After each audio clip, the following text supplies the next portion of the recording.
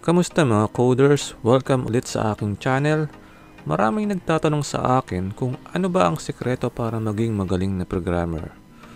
Okay, sa vlog na ito ay sasabihin ko sa inyo kung ano ang dalawang sekreto para maging magaling or para maging successful kayo na programmer or coder.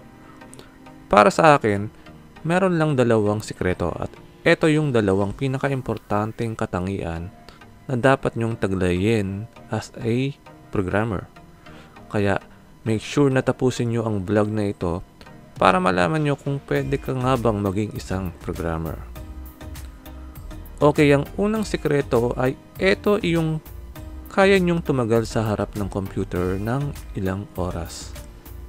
Kung kayo ang tipo ng tao na madalas nasa bahay dahil wala kang maraming friends at nasa harap ka lang ng computer buong araw, aba bakit hindi mo subukan maging isang programmer?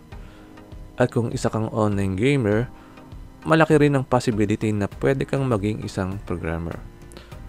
Basta hindi ka nababoard sa harap ng computer at feeling mo hindi ka mabubuhay kapag hindi mo nabuksan ang computer.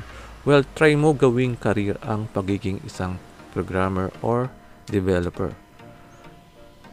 Pero may warning ako sa inyo Masama din yung nakaupo kayo sa harap ng computer sa loob ng mahabang oras.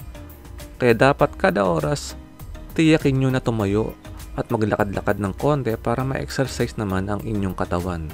At uminom na rin kayo ng isang basong tubig para sure na hindi kayo ma-dehydrate at mapilitan kayo mag-CR para jumingil. Ang pangalawang sikreto ay dapat masipag kayong mag-aral. Tama, dapat masipag kayong mag-aral kasi sa IT industry, araw-araw maraming bagong lumalabas na technology, programming language at bagong mga frameworks.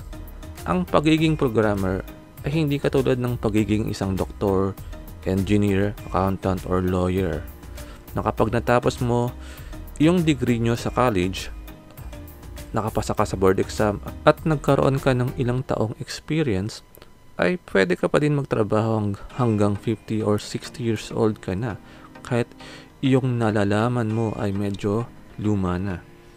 Dito kasi sa IT, kung ano yung natutunan mo ngayong taon, baka hindi mo na ito magamit after 10 years. Or kapag tumanda ka na. Kaya importante na lagi kang updated kung ano ang bago sa IT para maging in demand pa din kayo sa future at kaya nyo pa rin makipagsabayan sa ibang mga bagong programmers. Kaya mapapansin nyo sa college kapag nag-aaral kayo ng ComSci or IT, puro basic programming lang ang ituturo nila sa inyo. Ang magandang subject lang sa tingin ko na tuturo nila sa inyo ay about data structures and algorithm. At kung talagang seryoso ka na maging isang programmer, ay kailangan mong mag-self-study araw-araw. Maraming mga free e-books about programming and also marami din mga free online courses. Kung gusto nyo ng free e-books at free online tutorials about programming, mag-subscribe lang kayo sa aking channel.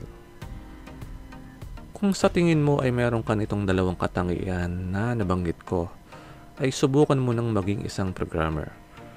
Malay mo ito pala ang makakatulong sa iyo para kumita ka ng malaki at magkaroon ka ng magandang buhay. Tandaan nyo, ang mga programmer ang isa sa may malalaking sweldo sa buong mundo. Kung nagustuhan nyo itong vlog kong ito at bago ka pa lang sa aking channel, please subscribe and like this video. Kung gusto nyo pala magpa-shoutout sa next video ko ay mag-comment lang kayo sa ibaba. Good luck and see you next time mga coders.